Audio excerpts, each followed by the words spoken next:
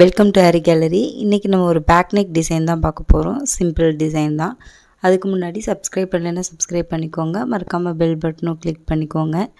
இன்றைக்கி நம்ம வந்து simple bead work back neck தான் பார்க்க போகிறோம் அதோட சாரியோட ஆப்போசிட் கலர் வந்து இதுதான். ஆக்சுவலாக இந்த மாதிரி பிட்டு தான் நம்மளுக்கு கொடுப்பாங்க. சாரீ ஃபுல்லாக நம்மளுக்கு வராது. ஸோ வந்து இதோடைய கலர் வந்து ஆக்சுவலாக பார்த்தா எல்லோ மாதிரி தெரியுது. பட் இது வந்து ஒரு கோல்டு கலர் மாதிரி. சாரி ஹனி கலர் மாதிரி. பார்த்திங்கன்னா தெரியும். ஒரே ஒரு த்ரெட் மட்டும் வச்சு பார்க்கும்போது பர்ஃபெக்டாக நம்மளுக்கு மேட்ச் ஆகுது. பட் அது வந்து நூல் கண்டோடு பார்க்கும்போது நம்மளுக்கு வந்து ரொம்பவே டிஃப்ரெண்ட்டான கலர் மாதிரி தெரியுது. ஸோ நம்ம இந்த த்ரெட்டை வந்து ஒரே ஒரு லேயர் மட்டும்தான் யூஸ் பண்ண போகிறோம் வேறு எதுவும் பண்ண போகிறதில்ல பீட் ஒர்க் தான். ஒரு சிம்பிள் பீட் ஒர்க் தான். ஸோ வந்து ஃபஸ்ட்டு வந்து நம்ம நெக்லைன் எப்பயுமே ஸ்டார்ட் பண்ணும்போது நம்ம ஜரி த்ரெட்டில் வந்துட்டு ஃபஸ்ட்டு ரெண்டு லைன் கொடுப்போம். ஸோ சேம் அதே மாதிரி. நம்ம டெய்லர்ஸ் மார்க் பண்ணியிருக்கிற இடத்துல இருந்து அப்படியே நம்ம ஜரியில் வந்துட்டு ஃபுல்லாக நம்ம செயின் ஸ்டிச்சஸ் தான் போட்டுக்க போகிறோம் இதுக்கு நான் நார்மல் அயன் நீடில் தான் யூஸ் பண்ணுறேன் அயன் நீடில் உங்களுக்கு ரொம்பவே ஸ்பீட் கிடைக்கும். ஸோ சேம் ஸோ இதையவே வந்து ஃபுல்லாக உங்களுக்கு போட்டு முடிச்சுட்டு காட்டுறேன். ரெண்டு லைன் ஜரி கொடுத்துட்டு ஆல்ரெடி சொன்ன மாதிரி அந்த சாரியோட கலர் வந்து ஒரே ஒரு லைன் மட்டும் கொடுத்துருக்கோம். எப்போவும் போல் நீ நெக்ஸ்ட் வந்து சுகர் பீட்ஸ் தான் வைக்க போகிறோம் நம்ம வந்து சிம்பிளாக வேறு ஏதாவது நம்ம த்ரெட்டில் பண்ணலாம். பட் டெய்லர்ஸ் வந்து மேக்ஸிமம் இப்படி தான் கேட்பாங்க. ஸோ எக்ஸ்பெக்ட் பண்ணுற மாதிரி சொல்லலாம் இதில் வந்து ஒரு சின்ன டிப்ஸ் ஏன்னா இது ஆல்ரெடி நம்ம நிறைய பேருக்கு தெரியாது. இருந்தாலும் ஒரு சில வீடியோஸில் மட்டும் சொல்லியிருப்பேன். ஸோ இந்த மாதிரி ஸ்லாண்டிங்காக நம்ம நீடில் வச்சுட்டு பீடை வந்து குமிச்சு வச்சுட்டு ஒரு பிளேட்டில் குமிச்சு வச்சுட்டு இப்படி பண்ணோம் அப்படின்னா உங்களுக்கு பீட் ஃபுல் ஆகிடும் ஸோ இதை வந்து உங்களுக்கு காட்டணும்னு நினச்சி இது ஆல்ரெடி முன்னாடி ஒரு வீடியோவில் காமிச்சிருக்கேன். இருந்தாலும் உங்களுக்கு மறுபடியும் காட்டணும்னு தோணுச்சு. ஸோ அதனால் ஏன்னா இது சிம்பிள் பேக் நெக் தான். ஸோ ஒரு சின்ன டிப் உங்களுக்கு சொன்ன மாதிரி இருக்கும். புதுசாக பார்க்குறவங்களுக்காக ஸோ வந்து இப்போ மறுபடியும் நம்ம நார்மலாக வந்து ஸ்விங் த்ரெட் யூஸ் பண்ணி ரெண்டு ரெண்டு சுகர் பீடாக அட்டாச் பண்ணிக்கலாம். மூணு மூணாக அட்டாச் பண்ணிங்கன்னா எதுவும் ரொம்ப பெரிய டிஃப்ரெண்ட் தெரியாது. போடும்போது உங்களுக்கு கன்ஃபார்மாக தெரியாது. பட் வந்து ப்ளவுஸ் வந்து கையில் இருக்கும்போது கண்டிப்பாக லைட்டாக நெளி நெளியாக தெரியும். அது மட்டும் இல்லாமல் ப்ளவுஸ் வந்து பர்ஃபெக்ட் ஃபிட்டிங் இல்லாதப்ப கண்டிப்பாக அது வந்து உங்களுக்கு விளங்கின மாதிரி கொஞ்சம் நெளிஞ்சு தெரியும். ஸோ அதனால் நம்மளோட பர்ஃபெக்ஷனுக்காக நம்ம ரெண்டு ரெண்டாவே நம்ம வந்து அட்டாச் பண்ணிக்கலாம். இந்த மாதிரி கொஞ்சம் கோணையாக இருக்க பீட்ஸ் எல்லாம் எடுத்து விட்டுறணும். ஏன்னா நம்மளுக்கு எல்லா பீட்ஸும் சேம் ஒரே மாதிரி இருக்காது. இது வந்து நம்ம ஸ்பீடாகவும் போட்டுக்கலாம். ஸோ ஃபுல்லாக கம்ப்ளீட் பண்ணியாச்சு. நெக்ஸ்ட்டு வந்து பீட்ஸு நம்பர் ஃபோரையும் சுகர் பீட்ஸையும் நம்ம வந்து நான் ஒன் பை ஒன்னாக கொடுத்துருக்கேன். ஸோ அதே மாதிரி. நம்ம நம்பர் ஃபோரையும் ஒன் சுகர் பீடையும் அட்டாச் பண்ணிட்டு மறுபடியும் சுகர் பீடுக்கு தனியாக நம்ம ஸ்டிச் போட வேண்டியதில்லை. ஸோ அதனால் நம்ம ரெண்டு ரெண்டாக கொடுத்துக்கலாம். அதாவது ஒரு சுகர் பீடு ஒரு நம்பர் ஃபோர் அது மாதிரி கொடுத்துக்கலாம். ஸோ நெக்லைன் ஃபுல்லாகவே நம்ம இதே மாதிரி கொடுத்துட்டு அதுக்கப்புறமா மறுபடியும் ஒரு சுகர் பீட் லைன் கொடுத்துட்டு அதுக்கப்புறம் தான் நான் கட்ட போகிறேன் ஏன்னா உங்களுக்கு இது அஸ் யூஷுவல் நம்ம எப்பயும் போடுற டிசைன் தான். ஆக்சுவலாக நான் மாற்றி கொடுத்துருக்கேன் அந்த இடத்துல. ஸோ அதை மறுபடியும் பிரிச்சுட்டு உங்களுக்கு ஃபுல்லாக சுகர் பீட்ஸ் லைன் கொடுத்துட்டு அதுக்கப்புறமா நான் உங்களுக்கு காட்டுறேன். ஸோ ஃபுல்லாக கம்ப்ளீட் ஆகிடுச்சு நம்ம வந்து கரெக்டாக ரெண்டு ரெண்டாக கொடுத்தோன்னா நம்மளுக்கு பர்ஃபெக்டாக இருக்கும் லைன்ஸு நெக்ஸ்ட்டு இந்த மாதிரி சுகர் பீட்ஸை கொஞ்சம் ஒரு ஊசியில் வந்து முக்கால்வாசி எடுத்திருக்கேன். அதுக்கப்புறம் வந்துட்டு நம்பர் ஃபோர் எடுத்திருக்கேன். இது எதுக்கு அப்படின்னா லைட்டாக ஒரு சின்ன கேப் விட்டு அதை வந்து ரவுண்ட் ஷேப்பில் நம்ம வைக்க போகிறோம் first number bead four number four bead அதாவது கொஞ்சம் தள்ளி அதாவது ஒரு சுகர் பீட் லைன் வைக்கிற மாதிரி. இப்போ இந்த இடத்துல வச்சு பார்த்தோன்னா கண்டிப்பாக இந்த இடத்துல வந்து நம்ம சுகர் பீடி சென்டரில் வைக்க முடியாது. ஸோ நம்ம என்ன பண்ணணும்? லைட்டாக அதை ரிமூவ் பண்ணிட்டு கொஞ்சம் தள்ளி வச்சு பார்க்கணும்.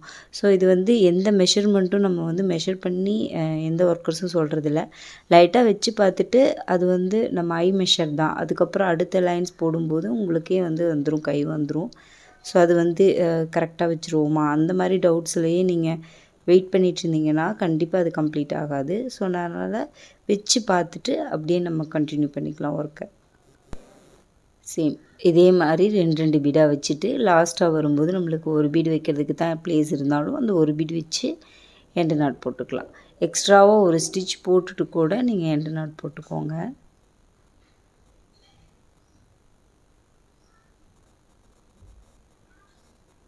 இந்த மாதிரி. எண்டு நாட் போடும்போது எக்ஸ்ட்ராவாக ஆல்ரெடி சொன்ன மாதிரி ஒரு ஸ்டிச் போட்டுக்கிட்டிங்கன்னா உங்களுக்கு அது ரொம்ப ஸ்ட்ராங்காக இருக்கும். ஸோ அதனால் அந்த மாதிரி போட்டது. நெக்ஸ்ட்டு வந்து இந்த கேப் வந்து நம்ம ஃபஸ்ட் டைம் நம்ம வச்சு பார்த்துட்டு அதுக்கப்புறமா நம்ம மாற்றி மாற்றி கொடுக்க போகிறோம் இப்போது இப்போ இந்த ரவுண்ட் மோட்டிவ் ஒன்று வேறு அதாவது நம்ம ரெயின் ட்ராப் ஷேப் இருக்கும் இல்லையா அந்த மாதிரி.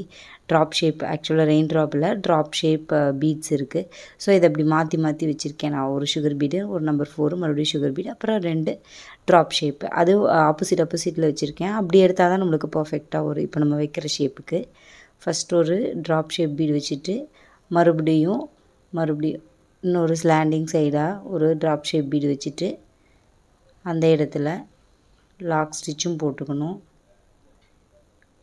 வேணும்னா நீங்கள் ஃபஸ்ட்டு ட்ராப் ஷேப் பீடு வைக்கும்போது ஒரு லாக் ஸ்டிச் போட்டுக்கோங்க. இப்போ வந்து ஃபஸ்ட்டு ஒரு சுகர் பீடை போட்டு தனியாக ஒரு செயின் போட்டு அதுக்கப்புறமா நம்பர் ஃபோரும் நம்பர் சுகர் பீடும் நம்ம தனியாக இன்னொரு லாக் போட்டு எண்டு நாட் போட்டுக்கலாம். ஸோ இது எதுக்காக அப்படின்னா ரொம்ப பர்ஃபெக்டாக அந்த இடத்துல செட் ஆகும். நீங்கள் அதை வந்து தனியாக கொடுத்து பார்த்தீங்கன்னா தெரியும். அது வந்து கண்டிப்பாக அது மிங்க்லே ஆகிற மாதிரி இருக்கும். ஸோ அதனால் இந்த மாதிரி கொடுத்தோம் அப்படின்னா நம்ம அந்த ரெண்டு ட்ராப் பீட்ஸுக்கு நடுவில் வந்து கரெக்டாக செட் ஆகி வரும். ஸோ அதனால் அந்த மாதிரி கொடுத்துருக்கேன். இந்த கேப்ஸ் வந்து நம்ம மெஷர் பண்ணி கரெக்டாக போடணும். ஸோ என்ன பண்ணலாம்? நம்ம ஒரு ரெண்டு பேர்ஸ் வந்து அந்த ரவுண்ட் மோட்டிவ் போட்டதுக்கப்புறமா நம்ம இந்த ட்ராப் ஷேப் மோட்டிவ் போட்டோம் அப்படின்னா உங்களுக்கு பர்ஃபெக்ஷனாக அந்த கேப் எவ்வளோ விடணும்னு தெரிஞ்சிடும் ஸோ நம்ம இப்போ என்ன பண்ணலாம்? நம்ம அந்த ட்ராப் ஷேப்பை விட்டுட்டு இந்த ரவுண்ட் ஷேப் அப்படியே போட்டு ரெண்டு லைன்ஸ் போட்டோன்னா நம்மளுக்கு தெரிஞ்சிடும் ஸோ அதை ஃபுல்லாக உங்களுக்கு கம்ப்ளீட் பண்ணிவிட்டு அதுக்கப்புறமா காட்டுறேன். ஸோ இது கம்ப்ளீட் பண்ணியாச்சு. ஆக்சுவலாக வந்து இது வந்து ஒரு முக்கால் இன்ச்சும் ஒரு பாயிண்ட்டும் எக்ஸ்ட்ராவாக வச்சு நான் மெஷர் பண்ணி போட்டேன். கரெக்டாக வந்துச்சு. ஸோ நெக் ஃபுல்லாகவே நம்மளுக்கு சேம் இதே தான் ஸோ நம்ம ஓவரால் புட்டாஸ் வந்து இந்த ட்ராப் ஷேப் பீடுக்கு சென்ட்ரலில் ஒரு மோட்டிவ் கொடுத்துருக்கோம் இல்லையா? சேம் அதே மாதிரி நம்ம ஓவரால் புட்டாஸ் கொடுத்தா பர்ஃபெக்டாக இருக்கும் இந்த ப்ளவுஸுக்கு ஸோ நான் அதனால் இந்த மாதிரி பீட்ஸ் எடுத்திருக்கேன். அதாவது ஒரு சுகர் பீடு ஒரு நம்பர் ஃபோரு மறுபடியும் சுகர் பீடு மறுபடியும் ஒரு சுகர் பீடு எதுக்கு எடுத்துருக்கேன்னா கண்டினியூ ஆகிறதுக்காக. நெக்ஸ்ட் லேயர் கண்டினியூ ஆகிறதுக்காக. இப்போது நம்ம நார்மலாக அந்த ஸ்விங் த்ரெட் எடுத்தாச்சு. இந்த மாதிரி சுகர் பீட் அட்டாச் பண்ணிவிட்டு அதுக்கப்புறமா ஒரு நம்பர் ஃபோரையும் நம்பர் சுகரையும் நம்ம அப்படியே அட்டாச் பண்ணிக்கலாம்.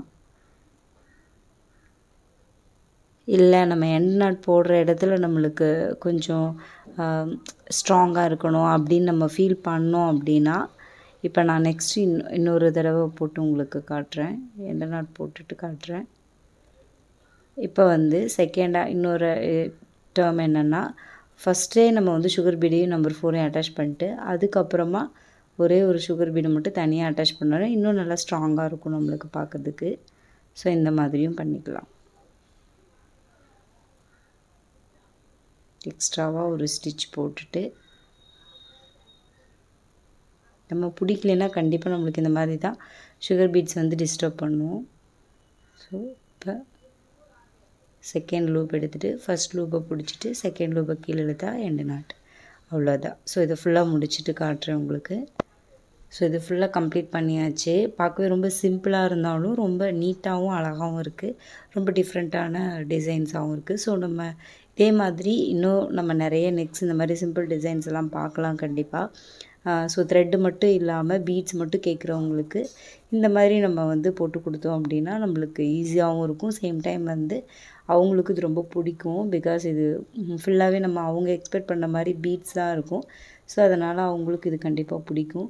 ஸோ நீங்கள் இதை கண்டிப்பாக நீங்களும் ட்ரை பண்ணுங்கள் இந்த மாதிரி டிஃப்ரெண்ட் டிஃப்ரெண்ட்டான மோட்டிவ்ஸை நம்ம நெக் லைனில் கொடுக்கறது மூலமாக நம்மளுக்கு ரொம்ப அழகாக இருக்கும்.